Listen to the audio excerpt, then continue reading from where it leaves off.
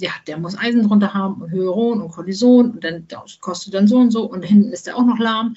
Das war, ich habe gedacht, dieses arme Tier. Und du bist ja auch jemand, äh, der viel bemerkt.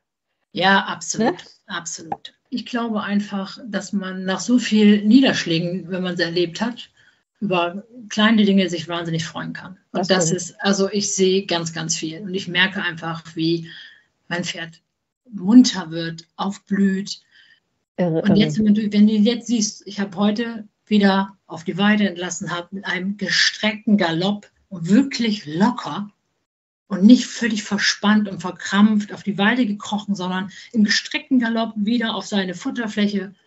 Also das, da geht mir das sehr Herz cool. Ja, ist sehr cool, sehr cool.